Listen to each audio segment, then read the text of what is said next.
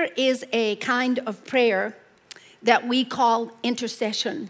You know, from the Bible, we see over in Ephesians, uh, Paul spoke there and said, Pray all kinds of prayer. So, this is one kind of prayer intercession. We have the prayer of agreement, we have uh, the prayer of praise and worship, we have the prayer of binding and loosing, and so on. And they're all different.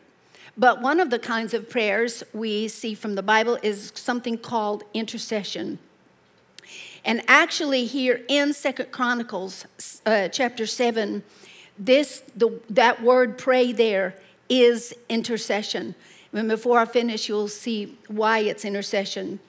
And it's where um, we actually take on uh, the burden of another as our very own.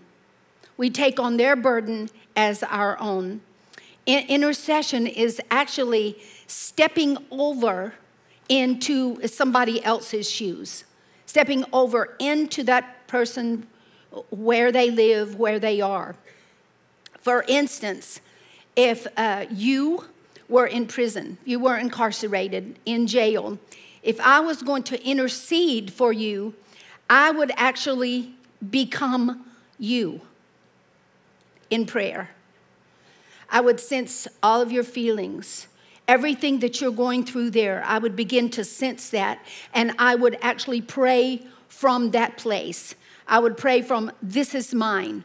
Where you are incarcerated, this is mine, this is where I am. I would pray from that position. It's not the kind of prayer where you're standing off and you would ask for God's will. Or then you would lay out the Word of God and give your opinion of how it should be.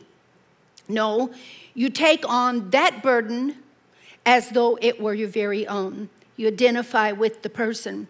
I remember years ago, Brother Hagin talking about this when he would pray for souls. And uh, I know people in this room right here that have actually had uh, that same thing. Um, he would be praying for souls, and he said, I would actually feel, as I was praying, I would feel lost. He would say, Well, I'm not lost. And I would have to remind myself, I'm not lost. Sometimes he said he would feel like he was sliding down into hell. And he would have to remind himself that he wasn't lost, but he's praying for somebody else. You actually uh, take their place. I remember uh, years ago when I had a Bible study, a woman's Bible study, and uh, I, um, there was a woman in there that was very depressed. Very, she was on medication. She, it was just the work. She was very, very depressed. And I found myself praying for her, and I would feel like I was depressed. So I, I would then check myself wait a minute now, I have joy, I have peace in here, I have joy, I have peace. This is not me. So, what was happening is I was taking that on and I would pray from that place. That is what intercession is. So, what we could say about intercession is, is, is like with Jesus, he took our infirmities and the reason that he did that was he didn't want us to have him, and because he loved us so much. So we could actually say about intercession is that intercession is love.